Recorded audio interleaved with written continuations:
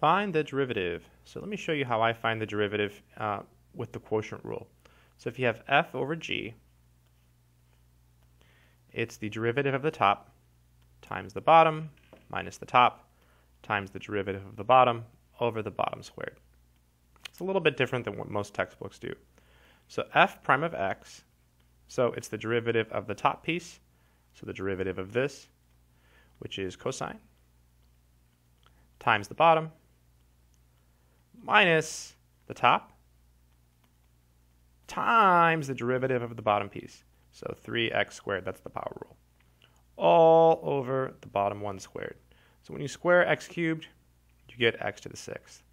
We did that kind of fast, so let's go over that again. So it's the derivative of the top. So the derivative of sine is cosine. It's right there. Times the bottom minus the top times the derivative of the bottom piece. So 3x squared.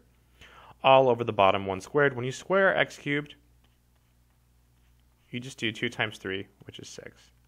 To finish, maybe simplify this. We can factor out an x squared from the numerator. So let's do that. This is x squared, parentheses x cosine x, minus 3 sine x. I think I did that right. Let's see. So x squared times x is x cubed. Yep. Yep, looks okay. On the bottom here, we have x to the sixth. And now we lose two copies of x, so an x squared cancels, and that becomes a 4.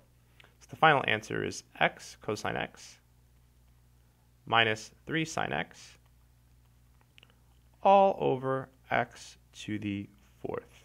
And that is the final answer. That's it.